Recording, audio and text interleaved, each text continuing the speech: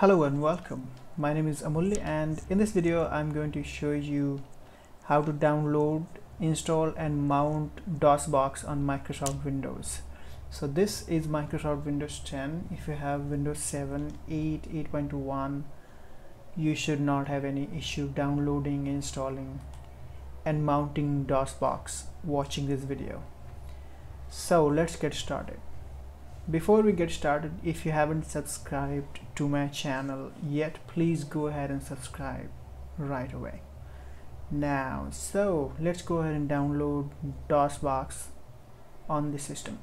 So go ahead and launch your preferred browser and go to this sourceforge.net projects DOSBox. I'm going to leave this link in the description below so you can get it from there now once you have this DOSBox obviously you will have to click this download button and then this is going to be downloaded like this. Now depending on the browser that you you are using go ahead and locate it. So I'm going to click this show in folder and this is going to be here in the downloads folder. Now what you have to do just click on it double click on it and you will get a window that's kind of user control security on the Microsoft Windows. Go ahead and say yes. Now once you get this wizard installation wizard setup wizard go ahead and say next. Now leave it as it is and go ahead and say next again. This is where your DOSBox is going to be installed. So do not make any changes. If you want you can change the name of the DOSBox directory. Like I'm just going to say DOSBox and then say install. And you can see it says completed installer setup completed. Go ahead and say close. Now the DOSBox is installed. Okay. If you want to use it there are a few things that needs to be done so if I go ahead and double click on it it's been you can see it's running. If I want to mount it I can go ahead and mount it. But there are a few other executable files that we need. Okay so I've got it here. You I will leave a repository link github repository link for this download. So you can go ahead and download from there. And all you have to do just open this uh, folder the downloaded folder. Most probably it's going to be in zip folder. So unzip it extract it and copy everything like this.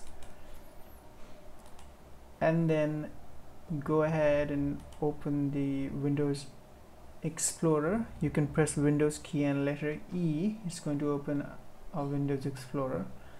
Go to C drive and just create a folder so this is where we are going to mount this DOSBox and I can say whatever I want. I'm going to say dbox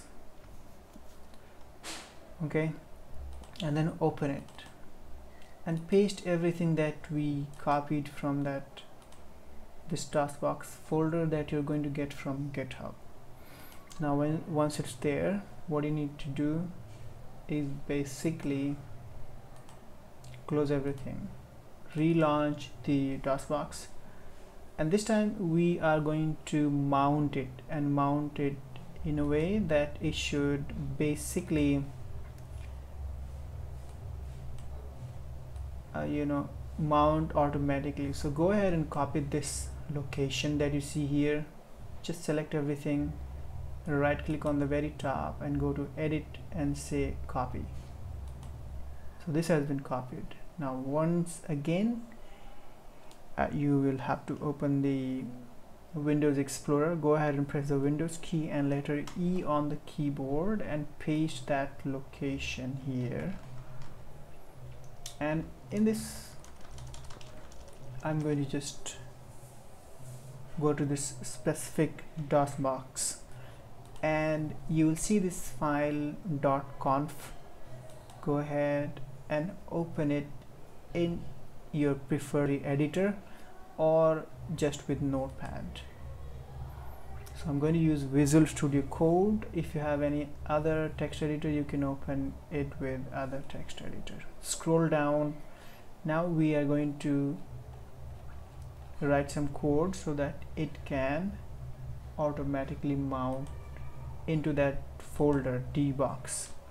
So all you have to do you simply have to say mount and then this is alias name C and then you say C colon backslash dbox this is where you got everything like all the uh, downloaded file uh, executable files and then you have to say C colon.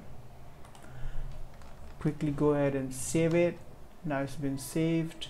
You can see it here so this is the folder name where we kept everything this folder.